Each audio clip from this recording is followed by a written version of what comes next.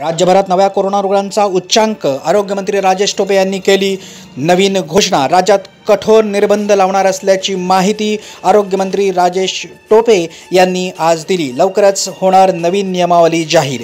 गर्दी नियंत्रणाबाबतही नवीन विचार सुरू असल्याची माहिती आरोग्यमंत्री राजेश टोपे यांनी दिली. मागील चोवीस तासामध्ये तो तब्बल तेवीस हजार एकशे एकोणऐंशी नवीन कोरोनाबाधित रुग्णांची नोंद झाली आहे. ही निश्चितच चिंताजनक बाब असल्यामुळं राज्य शासनानं कठोर निर्बंध लावण्याचे निर्णय घेतल्याची माहिती आरोग्यमंत्री राजेश टोपे यांनी दिली.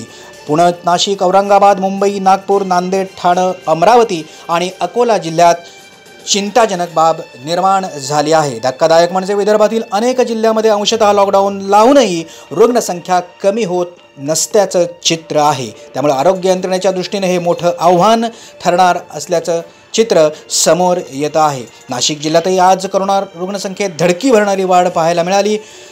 यापूर्वी सोळा सप्टेंबर दोन हजार वीस रोजी दोन हजार अठ्ठेचाळीस रुग्णांची नोंद झाली होती. त्याचप्रमाणे आजही दिवसभरामध्ये जिल्ह्यात तब्बल दोन हजार एकशे सेहेचाळीस नवीन रुग्णांची नोंद होऊन नऊ रुग्णांचा मृत्यू झाला असल्यामुळं नाशिक जिल्ह्यातील कोरोनाची एक धडकी भरणारी आकडेवारी समोर येते आहे.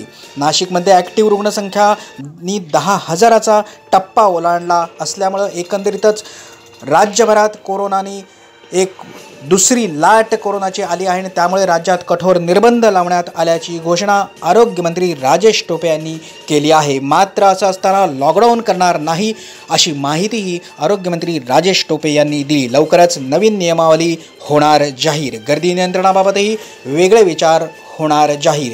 चोवीस तासात तब्बल तेवीस हजार एकशे एकोणऐंशी नव्या कोरोनाबाधित रुग्णांची झाली नोंद.